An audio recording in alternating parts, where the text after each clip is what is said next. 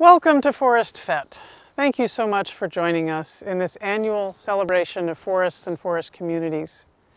The theme of Forest Fete 2021 is indeed reweaving forests and forest communities.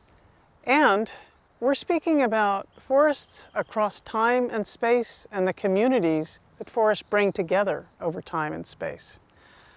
I'm standing on the ancestral lands of the coastal Miwok, who created a legacy for these generations, and thanks to my ancestors, it's been conserved for future generations.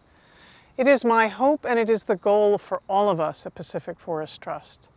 The future generations will look at us as ancestors who have left a legacy of conserved and well-managed forests so that they may have the cool water, the clean air, the abundant wildlife, the range of wonderful wood products, and the wonder and awe that we have today from our forests. And that is the community across time. It is a community to support forests now and in the future.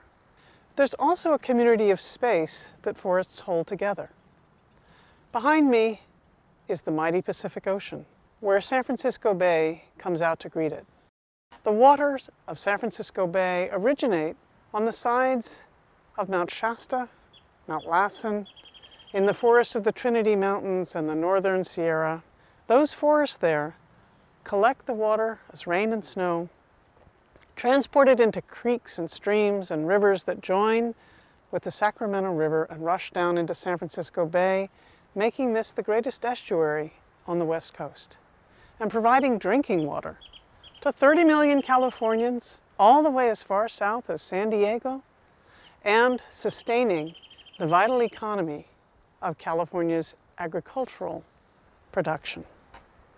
And that is how forests weave us together as a community across space. We've been talking over the past several decades about the climate change crisis and what we must do to avert the worst of that crisis. I suspect all of us as children, at some point or other, heard a voice say, now means now. And the meaning was clear. I need you to do what I need you to do now. In the climate crisis, now does mean now. In these next 10 years, we need to change the trajectory of what we are doing so that we are taking more CO2 out of the atmosphere than we are putting into the atmosphere. And the only known way to do that is through the power of forests. The transformation that we need to undertake in how we manage forests and how we value forests is the same kind of transformation as we are doing in the energy and transportation sectors. And it will take the same scale of investment to do that. There are proven tools that we can support to do this, such as conservation easements, which Pacific Forest Trust uses in working with landowners. And there's a broad community of landowners who want to join in that stewardship and conservation so essential to creating a safe climate and a good future. You'll hear tonight from two landowners who have worked with the Pacific Forest Trust to steward and conserve their lands and indeed who've done this with a family covering now seven and more generations, and another who's done it for the community at large.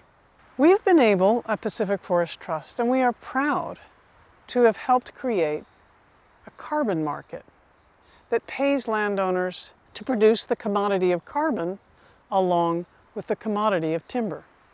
Pacific Forest Trust believes in making it easier to do good things and in creating the economies and market forces that support doing good things. Now it's time for all of us to pull together and create the solutions that will carry us through the climate crisis. We need you. You are part of this forest community.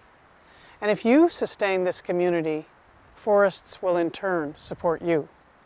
Thank you for being part of the Pacific Forest Trust. Thank you for supporting us. Together, we will make the difference that we must make because now means now.